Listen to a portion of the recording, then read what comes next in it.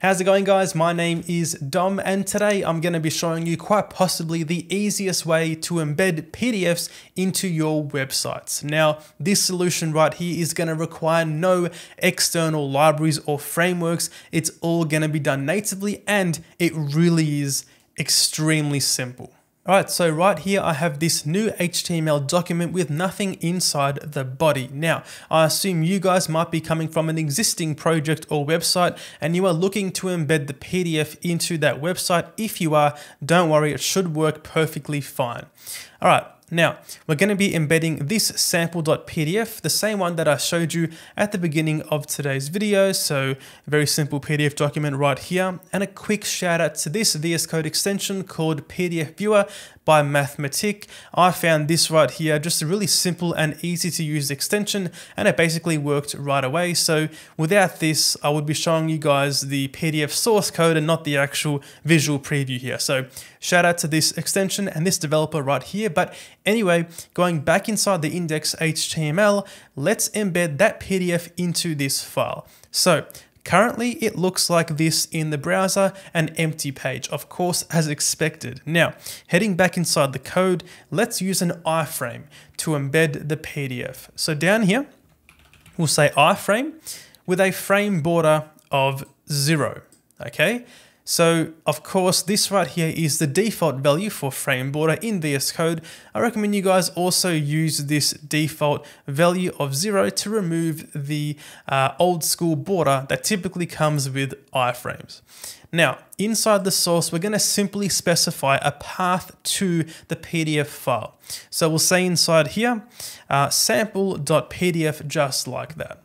Okay, I can now save this and go back in the browser and we are basically done. I'll refresh here and we get the PDF embedded just like that. Now, an important thing to note about this uh, method right here is that it's going to use the browser's or the operating system's default PDF viewer. So in this case here, like I showed you earlier, this is Chrome's PDF viewer. So it's going to use that one.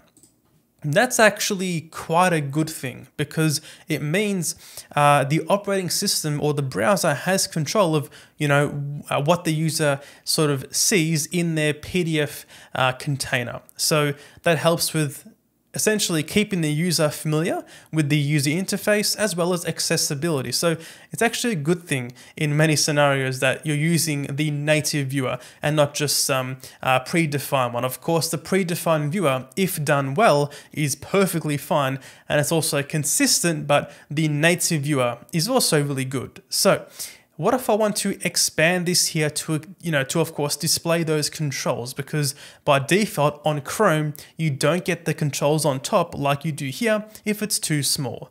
I also found on Firefox having this this small is actually going to display the controls anyway. So let's just go back inside VS Code here and essentially increase the width and height of the iframe to reveal those controls.